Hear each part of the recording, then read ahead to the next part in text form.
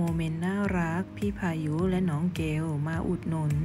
ห่อหมกหมาออนนภาม้าออนภาสุขใจที่หลานๆ มาอุดหนุนห่อหมก ยกให้หลานรักเป็นลูกค้า VVIP ไปเลยสำหรับโมเมนต์น่ารักที่ลูกๆของชมพู่อารยา พี่พายุและน้องเกลมาอุดหนุนห่อหมกคุณยาย งานนี้ทำเอาม้าอ่อนภานั้นมีความสุขมาก ที่ร้านร้านน่ารักไม่ลืมคุณยายเลย ล่าสุดนั้นม้าอ่อนภาได้โพสต์ผ่านอินสตาแกรมส่วนตัว เป็นภาพพี่พายุและน้องเกลแต่งตัวน่ารัก พร้อมได้เขียนแคปชั่นว่าวันนี้ลูกค้า VVIP มาอุดหนุนห่อหมกคุณยาย และไตรปลาแห้ง พายุและอาบิเกล แต่สายฟ้าไม่สบายอยู่ในรถหลานๆน่ารักที่สุดไม่ลืมยายเลย หลังจากที่โพสต์ได้ถูกแชร์ออกไปนั้น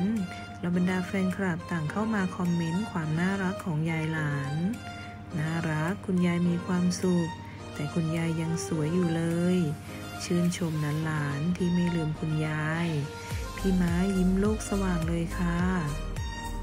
เด็กๆมาหาคุณยายเสมอ แฝดผมม้าน่ารักที่สุดเลย ขอให้กิจการ รุ่งเรืองนะคะ รักแม่ม้าค่ะ น่ารักมาก คุณยายมีความสุขหลานๆมาหา